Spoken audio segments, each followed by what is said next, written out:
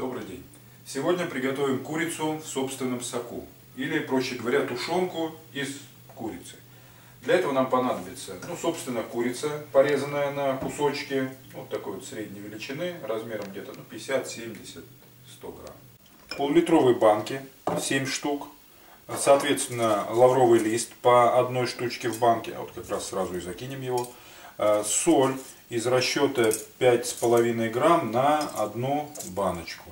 Соответственно, вот здесь вся соль уже отмерена. Ну, разумеется, крышки. И черный перец по 3 штучки в каждую банку тоже закидываем. Стерилизовать будем с помощью автоклава.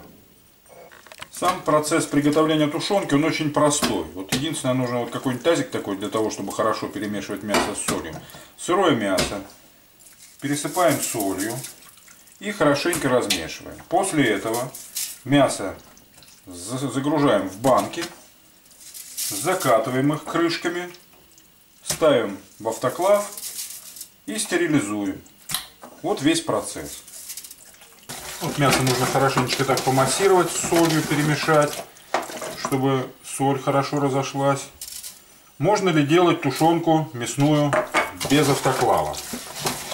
Я думаю, что можно, это делают, но это очень хлопотно, это долго нужно стерилизовать. С автоклавом удобнее делать тушенку, скажем так. Конечно, это не панацея, но с ним удобно. И теперь загружаем мясо в банки.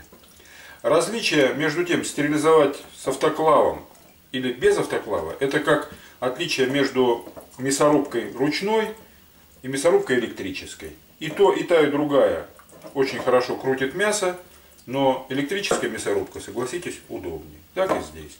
Загружаем мясо так, чтобы оставалось 2-3 сантиметра до верха.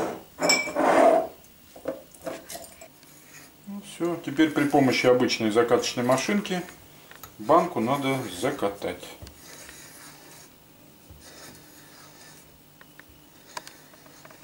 Теперь устанавливаем крышечку. Банки стоят в кассете. И закручиваем, зажимаем гайками. Поджимаем крышечку. Сильно зажимать не надо. Важно, чтобы банки не передвигались там, чтобы они надежно были закреплены. Но в то же время сильно пережимать не надо. Вот в эту модель автоклава входит за один раз 14 пол-литровых банок. Все, опускаем кассету в автоклав и заполняем его водой. Вот теперь автоклав полностью заполнен водой. Нужно, чтобы воды, вода была, уровень воды был на 1 сантиметр выше, чем крышка кассеты. И теперь устанавливаем крышку. Закручиваем крышечку крест-накрест, чтобы равномерно она легла.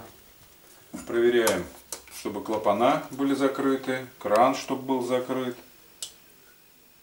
И включаем Стерилизация мясных консервов, мясной тушенки, происходит при температуре 114-115 градусов в, в течение 30-40 минут.